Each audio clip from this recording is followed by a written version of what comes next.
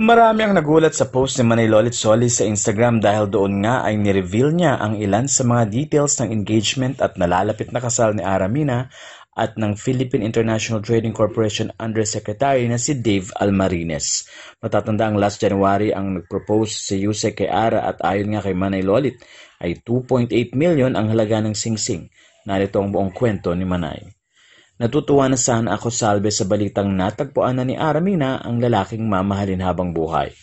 Nakakatuwa dahil matapos ang ilang pagkabigo sa relasyon, heto at kahit pa nga meron ding konting intriga sa magaganap na wedding nila dahil sa past relationship ng groom, okay pa rin dahil si Aramina ang pinili na ihatid sa altar.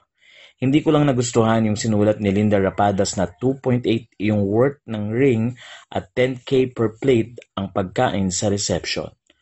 Pera naman nila yon okay lang pero di ba in bad taste na ngayong pandemic pinag-uusapan niyang mga halagang ganyan. Bilyonaryo ba ang groom? Multimillionaire? 10k per plate? Talagang merong presyo? 2.8 ang worth ng ring? Grande ha? Sana naman naisip ni Aramina na para bang over the top naman ang mga ganitong balita na para bang nakakawala ng romance dahil merong presyo na nakatag.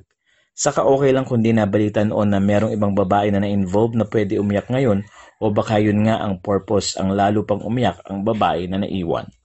Sana ara, medyo dahan-dahan sa mga pasabog, hindi klase iyon may pinag-uusapan ng presyo parang may konting yabang. Okay na maging maligaya ka huwag na may presyong nakakabit. Mas maganda at romantic pang lalabas. Happy wedding at congrats! Sa post na ito ni Manay Lolit, maraming netizens ang sumang-ayon sa kanya.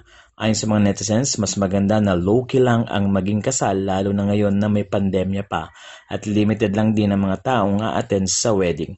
Narito ang sinabi ng isang netizen. True manay, mas maganda pa ang simpleng wedding gaya ng kay Alex walang halong presyo. Matatandang naikwento ni Ara na gusto siyang bigyan ni Dave ng ganyang dream wedding pero dahil nga sa pandemic ay maaaring hindi mangyari ang malaking kasalan pero pipiliti nila na makapunta doon ang mga taong naging part ng kanilang journey. Kaya nga sa post ni Manay, sana ay ma-realize din ni Ara na hindi ito time para sa bonggang kasalan. Ilang netizens din ang ikinumpara ang naging kasal ni Alex Gonzaga at Mikey Murada na naging simple lamang at ginanap sa bahay ng mga Gonzaga sa Rizal at tanging mga kapamilya at ilang nalalapit na kaibigan lamang ang nandoon. Sa panahon ngayon, mas importante nga sa maraming tao ang pagkain kesa sa luho.